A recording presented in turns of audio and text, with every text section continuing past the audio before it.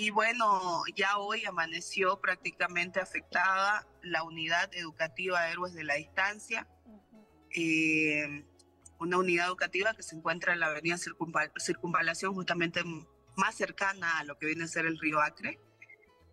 Eh, como también eh, ya nos han confirmado de que la subida del río ha afectado también al municipio de Porvenir, a una de sus comunidades al municipio de Bellaflor, a tres comunidades, municipio de Volpebra también tres comunidades, ¿no? Entonces, bueno, el trabajo que venimos realizando es de buscar llegar con apoyo a esta, a, esta gente que está siendo afectada, el ver también de que se los pueda llevar a, eh, a los albergues que corresponden dentro, dentro de esto dentro de la capital y en coordinación, bueno, con, con nuestro gobierno nacional. En, recientemente ha llegado 12.4 mm, toneladas de, alimentación por parte de nuestro gobierno nacional, de nuestro presidente Lucho Arce, y es por ello de que igual está todo un equipo especializado de rescate que ha llevado el Ministerio de Defensa.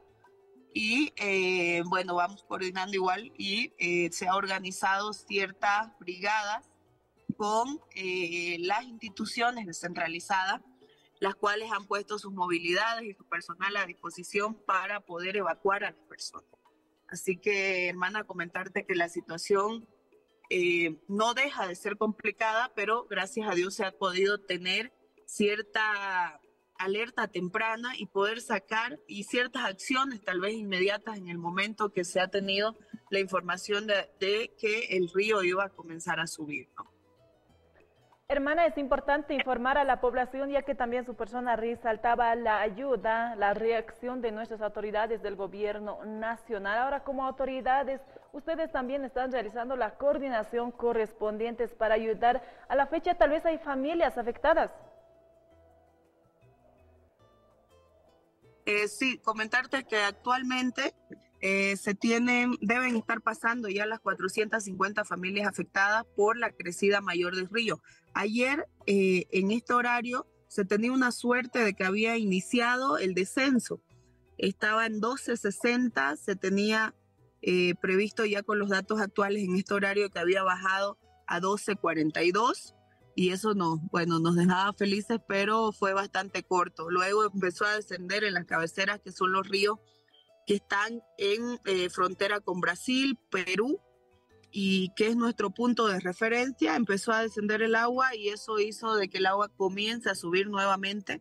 Es por ello de que el dato que teníamos actual de los cinco albergues ya habilitados ha sobrepasado y eh, se están habilitando dos albergues más. Son más de 400 familias afectadas. Algunas han optado por irse a casa de familiares eh, y eh, se está teniendo todo el registro, todos los datos, pero vuelvo a decir, nuestro gobierno desde el día uno, de manera inmediata, por parte de nuestro gobierno nacional, ha hecho de que llegue nuestro viceministro de Defensa Civil con un Hércules con alimentos, con ayudas en tema de herramientas también que son muy útiles, con dos botes y deslizadores para poder navegar, eh, ya que en ciertos lugares no hay acceso por carretera.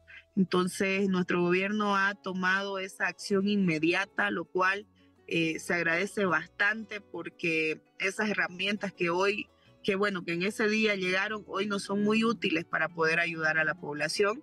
Y en el transcurso de estos días también nuestro gobierno nacional a través de otros ministerios está haciendo llegar diferentes apoyos con alimentación, con vitualla y con medicamentos. El Ministerio de Salud también está con diferentes brigadas en todos los albergues que se han habilitado, como en diferentes lugares, trabajando 24/7 y eh, dando ese apoyo directamente a la gente. Vuelvo a decir, como descentralizada.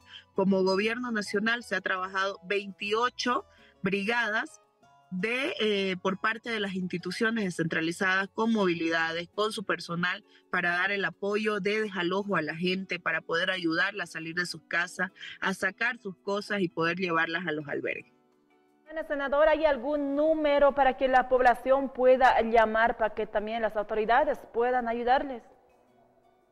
Sí, hay, hay varios números. Eh, voy a pasárselo internamente, más bien si nos pueden hacer el favor de poder luego colocarlo porque son diferentes números de las instituciones descentralizadas, de la Secretaría de Riesgo del municipio, de Defensa Civil, eh, que es una lista bastante grande, todos organizados, todos atentos al llamado de la población. Por eso digo, es importante el trabajo cuando se lo hace eh, prácticamente actuando de una manera antes de lo que pueda suceder, ¿no? Es por ello de que hoy tal vez no tenemos que anunciar tristemente ninguna pérdida de una vida humana o personas que hayan también perdido de, de manera completa, como ha pasado el 2015, todas sus cosas, porque se ha actuado mediante una alerta temprana. Se ha evacuado a la población que vive cerca al río con antecedencia, con tiempo y también generando conciencia a estas personas de que puedan salirse porque los datos nos reflejaban de que el río iba a subir.